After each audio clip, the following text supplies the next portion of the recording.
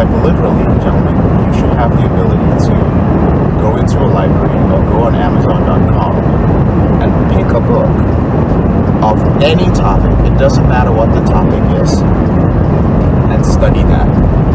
That is an important part of being literate.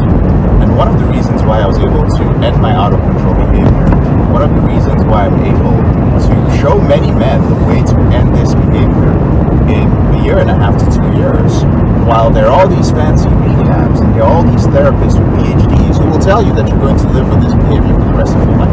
Highly educated individuals, they tell you that there's no cure for this. Anybody who tells you there's a cure is scamming you.